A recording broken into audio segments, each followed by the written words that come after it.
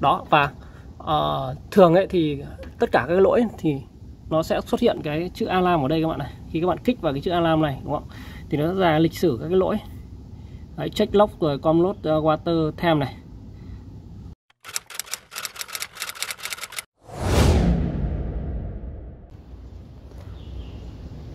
Ờ, xin chào tất cả các bạn nha. Thì uh, chiller thì uh, thì các bạn đã biết thì uh, cũng gặp rất nhiều là trong là công nghiệp cũng như là trong các cái tòa nhà lớn thì uh, chiller nó cũng uh, hay xảy ra lỗi các bạn nhé. Thì uh, trong những cái lúc mà vận hành thì uh, nếu mà các bạn xử lý các cái lỗi đó thì uh, nó sẽ đảm bảo được cái quá trình vận hành nó thông suốt. Đấy thì hôm nay mình uh, làm một cái video chia sẻ với các bạn về một cái lỗi của con chiller này các bạn nhé. Thì đây chính là cái dòng chiller này. Đấy thì các bạn biết là đấy đây là cái dòng chiller mà uh, RTAC 170D U cao H. NAF là là một TI đấy thì cái model của nó rất là dài. Thì ở dưới nó có các tài liệu đính kèm đây các bạn nhé. Thì hôm nay à, mình chia sẻ với các bạn nó về một cái lỗi. Thì đây. Thì uh, lỗi này cũng à, rất hay gặp các bạn nhé. Thì uh, đấy các bạn thấy không? Cho nó rõ lên một chút. Đó. Thì uh, đây đây là các cái lỗi này nhưng mà con này thì nó đang bị một cái lỗi đó là cái các bạn nhìn cái dòng đầu tiên trên dòng đầu tiên nhá. Đấy cái cam thì nó hơi mờ một chút tuy nhiên các bạn à, sẽ nhìn cái dòng đầu tiên nhá. Đó chính là evap living water temperature. Thì à, con này nó đang bị lỗi cái cảm biến nhiệt độ và nó sẽ không cho chiller chạy các bạn nhé à, thì à, à, đối với cái lỗi mà hỏng hẳn sensor tức là không có cái tham số về như thế này này. Thì à, à, thường là các bạn phải thay nhé hiểu ờ, và một số cái lỗi nữa đó chính là cái lỗi mà uh, cái nhiệt độ này nó báo sai. Nó cũng rất là hay gặp trong uh, chiller nhé uh, chiller của trên này nó báo sai có nghĩa là bình thường ấy thì uh, cái nhiệt độ làm việc của nó như thế này.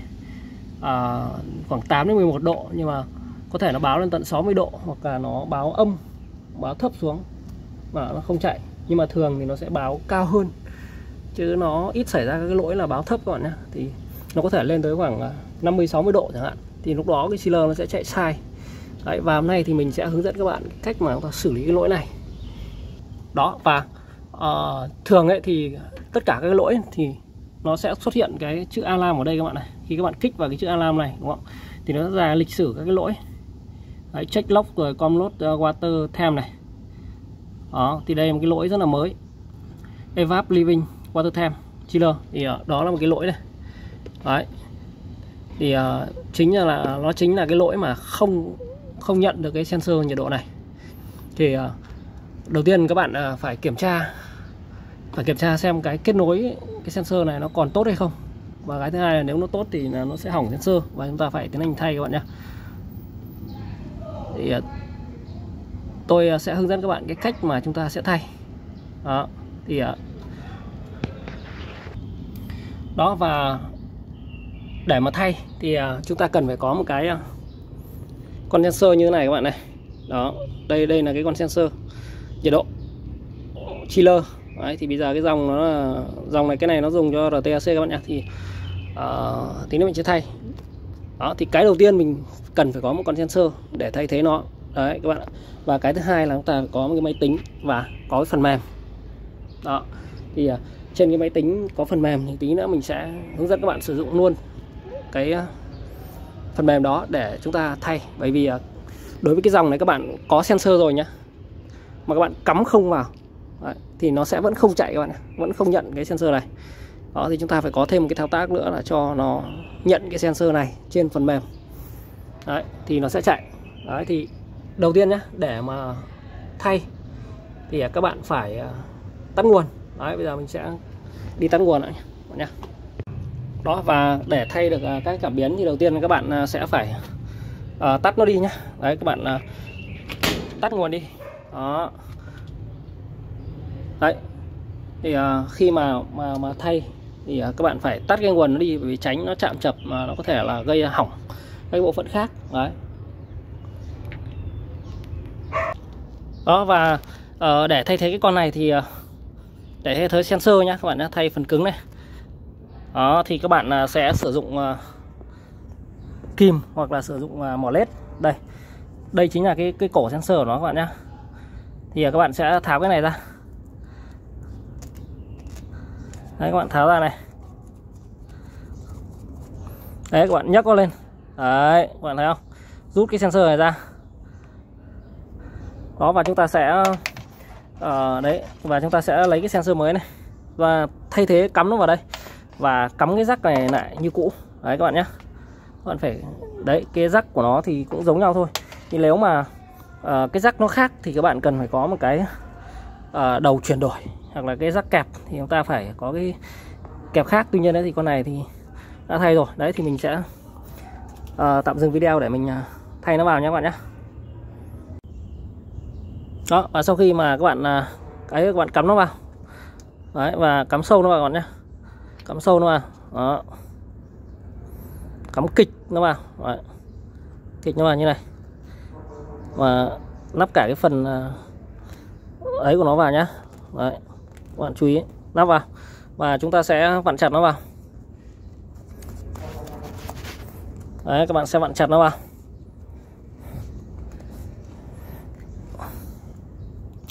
Đó thì ờ, đó là cái ờ, ờ, công tác mà thay thay phần cứng nhé các bạn nhé đó phần xong bây giờ chúng ta sẽ tiến hành đi chúng ta sẽ xử lý nó trên phần mềm các bạn nhé đó, và sau khi mà chúng ta thay xong nhá, sau khi mà chúng ta thay xong cái sensor vào, thì một trong cái việc bắt buộc là chúng ta phải bật nguồn lên để cho nó nhận cái cảm biến đó cảm biến nhiệt độ các bạn nhé thì chúng ta sẽ bật nguồn lên. Đấy. rồi ok. Bật nguồn đã. Thì bây giờ chúng ta sẽ ra cái ờ, uh, con chiller đó để chúng ta uh, thay thế nó trên phần mềm. Đó. Ờ thì ờ, sau khi mà các bạn uh, thay xong cái phần cứng và các bạn bật nguồn lên thì nó vẫn báo lỗi đây các bạn nhá, vẫn báo lỗi đây. Đó. Thì nó vẫn là báo lỗi cái con nước ra này. Đó. Các bạn thấy không? Thì nó vẫn báo cái, cái lỗi là evap và nó chưa nhận nhá cái nhiệt độ ở đây này nó vẫn chưa nhận đấy các bạn nhìn nó chưa nhận này. Thì uh, sau khi mà thay xong thì uh, các bạn cần phải có một cái ờ, đây. Có một cái máy tính như này. Đó có một cái máy tính mà uh, có một cái cáp. Thì cái cáp này là cái cáp mà uh, RS232 các bạn ạ. Đấy cáp như này. Và cái đầu nó là đầu USB để cắm vào máy tính còn cái đầu của nó là đầu đây. Thì cắm vào chiller nhé và trên máy tính này thì có cái phần mềm.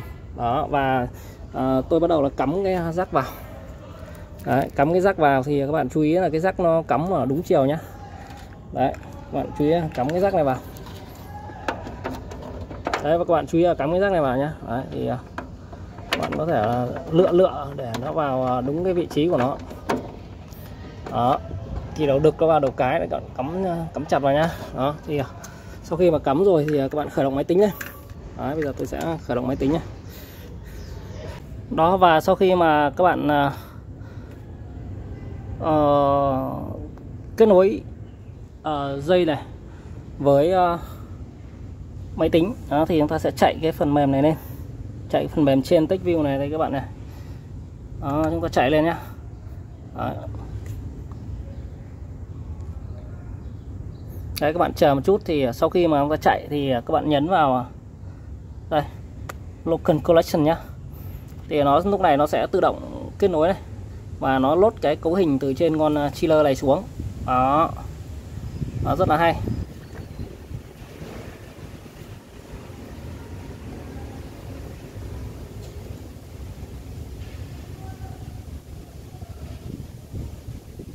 Đấy, thì các bạn chờ một chút nhé trong lúc này thì à, chúng ta sẽ chờ đợi để à, cái máy tính nó sẽ lốt cái cấu hình xuống. Có gì sau khi mà lốt thì các bạn nhìn thấy là nó cũng có những cái lỗi ở đây. Đó thì à, để mà à, chúng ta bắt đầu thay thế này. Thì bây giờ chúng ta sẽ cho nó nhận diện bằng cách này chúng ta vào à, view này. View này. Đó. View nhé xong cho chúng ta chọn à, binding view nhé binding view này. Đó thì à, lúc này à, nó sẽ vào cái phần mà à, chuyên để thay thế các cái à, như là sensor rồi rất nhiều những thứ khác.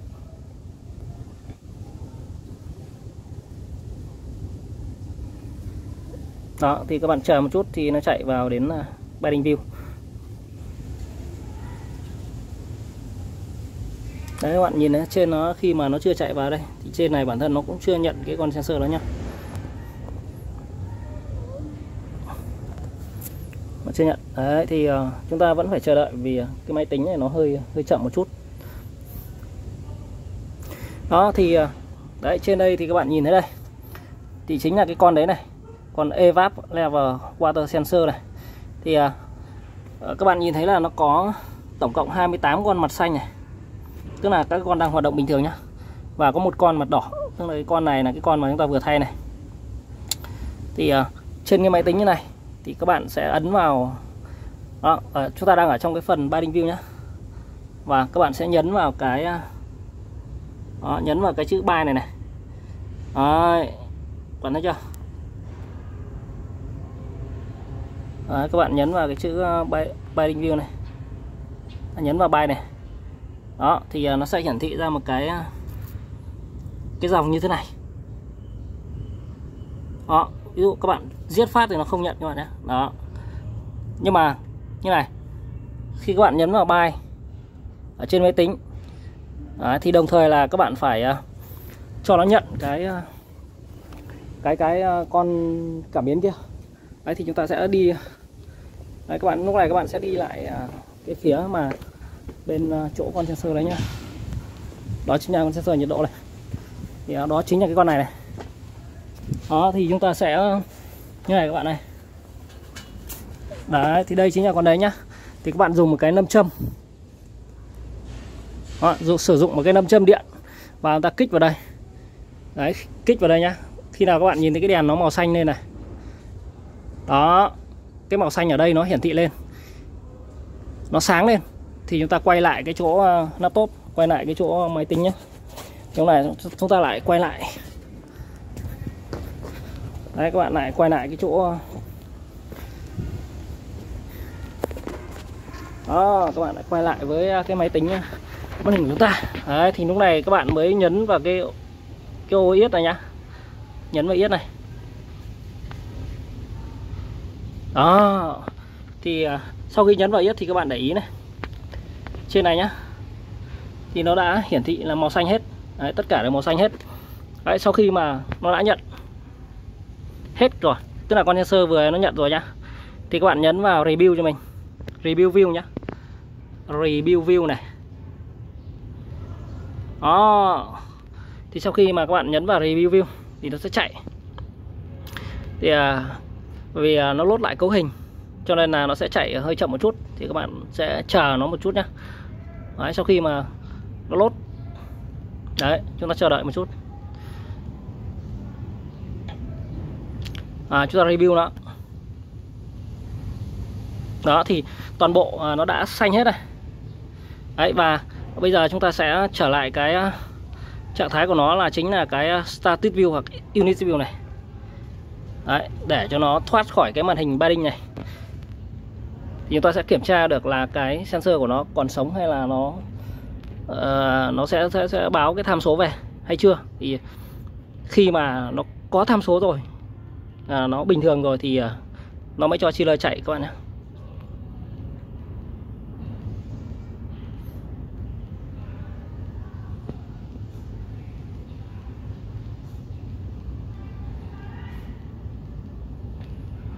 Đó. Thì nó chạy chạy chạy. Chúng ta chờ nó chạy nhá.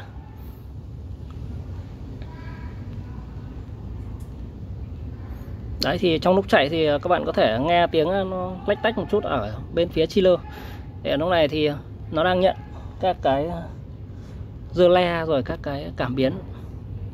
Nó đang review lại. Và bây giờ chúng ta sẽ đợi nó khởi động lại cái cái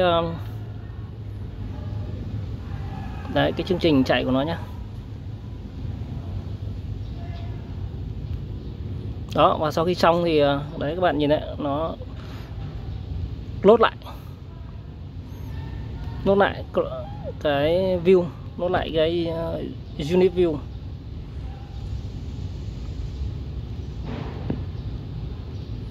Thì ở đây là cái bản ờ, tech view. Bản bản ờ, Chaser CH 530 Đấy. bản này thì các bạn có thể đao ở trên ờ, trang, không biết là trên trang chủ nó có cho đao không? Đó, thì các bạn đã thấy là bây giờ này. Đấy, cái con này này. Đấy, con này nhá. Thì lúc nãy là nó báo là cái gạch gạch, thì bây giờ nó đã nhận rồi. Nó có hai con cả biến đây rồi. Thì ờ, như này thì nó đã trở lại trạng thái ờ, bình thường rồi nhá. Thì các bạn tắt nó đi lúc này các bạn có thể hoàn toàn có thể tắt phần mềm đi.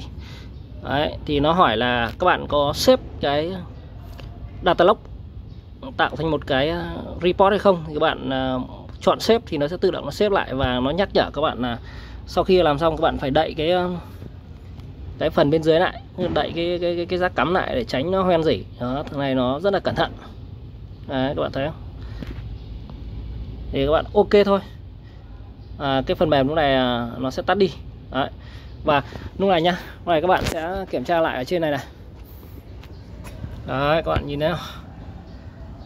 Thì ờ, nó đã hết cái alarm ở đây nhá. Lúc trước nó có cái alarm ở đây và bây giờ nó hết cái alarm ở đây rồi. Thì các bạn vào cái phần chiller này thì các bạn thấy là nó hai con này à, nó đều là 13,7 độ. Đó các bạn thấy không? Thì à, như vậy là mình đã vừa thay thế xong. Một trong những cái chú ý của những cái à, của cái, cái dòng chiller trên này thì ờ, các bạn biết là tất cả những cái ờ, bo này. Bo nó nằm trong đây. Và uh, tất cả các sensor. Đó. Thì uh, khi chúng ta thay thế nó bắt buộc phải cho nó nhận là phải bay phải binding view binding cái cái sensor đó thì để nó nhận cái địa chỉ thì nó mới hoạt động các bạn ạ. Còn uh, đối với cái dòng chiller này các bạn thay vào nhá. Thay sensor rồi thay trên user áp cảm biến áp suất cảm biến nhiệt độ ấy, hay là đo mức lỏng các thứ thì các bạn sẽ bắt buộc phải làm cái động thái đó. Chứ còn các bạn thay vào là nó không chạy các bạn nhé. Đấy là một trong những lưu ý mà khi mà thay cái uh, thiết bị của cái thằng trên. Đây RTAC đây các bạn. Đó thì uh, vừa rồi mình đã uh, hướng dẫn cho các bạn về cái cách mà chúng ta thay một cái con cảm biến nhiệt độ. Đấy thì thay các cái con khác cảm biến áp suất các thứ thì nó cũng như thế vậy thôi. Quan trọng nhất là các bạn biết được là nó hỏng con nào mà thay thôi. Đấy thì uh, cảm ơn các bạn đã theo dõi video nhé.